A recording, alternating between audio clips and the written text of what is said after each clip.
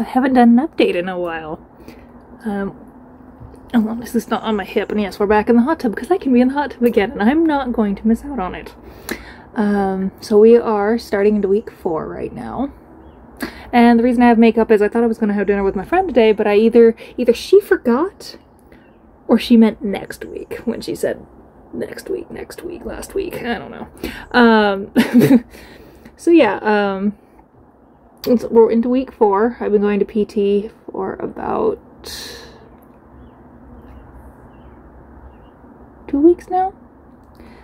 Uh, my insurance is having some fun there. They were like, they only authorized seven sessions, and my PT kind of went to them like, she had surgery, and a surgery that usually takes six months of PT, so could you authorize that again?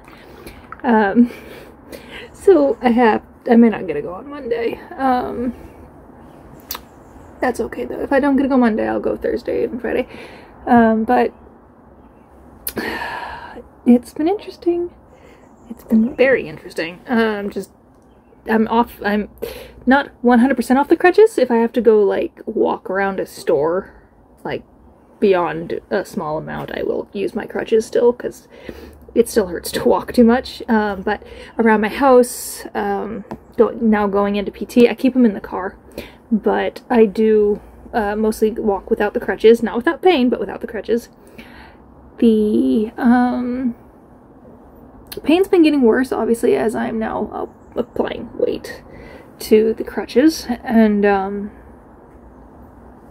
yeah, it's not the funnest, but I am healing. Had a couple missteps early on I slipped going down the garage steps. Only two steps, but I, I kind of took a tumble. Caught myself on my good foot, but I whipped my bad leg. Um,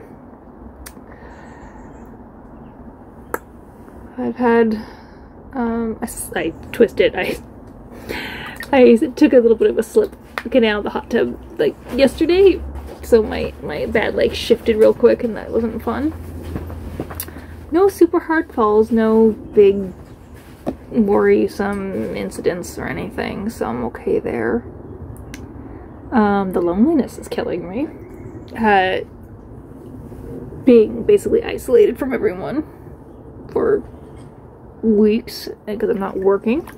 I did do one massage on my friend and she came over for it this week and just to test if I could go back to work next month and I'm pretty sure I can. I just had to be uh, with restrictions, so only like one hour massages, only like one a day, maybe two if I really think I can push it, but um, that's, that's, that's something. Got my stitches out on week two and a half. stitches are out.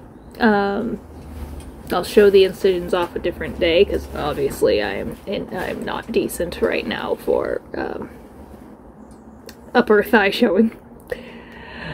But all in all, um, it's going. It's going well enough. It's just um, pain. And I will admit, feeling some of the pain that's getting worse as I'm off my crutches makes me scared that, like, not all the pain will go away and that is a little troublesome in my head, but I'm trying not to think about that because it all makes sense. They drilled through my hip. I got to see the pictures too. That was cool. Um, but you know, they drilled through my hip. That's probably where it hurts the most when pressure is applied. Um, and that place is just really angry in general. So that's going to take a while to heal. I mean, full healing is six to eight months. It's not like, all because I'm off crutches that this is going to get better. No, it's six to eight months to be mostly back to normal. It's three months to be able to function mostly normal. Um, so I'm only at three, like, I'm just starting into four weeks. So, yeah, I'm just, yeah, it's, it's, it was four weeks Tuesday. So I'm just starting into four weeks. So it's okay if it hurts. It's bound to do that. And I need to accept that it will and be okay with it. Um, yeah, so that's really it. This is going to be a pretty short video because there's not too much to say about it. It's definitely been easier than I thought it'd be. but I also know it's going to be different for everyone, so don't take it as my being. I mean, the the the headache, that migraine I had. Um, I am going to make a video on that at another point. Um, but besides the first, if you take out the thunderclap migraine, then it wasn't that bad. That was bad. The rest of it, not so bad. You know, getting around crutches is annoying. Um,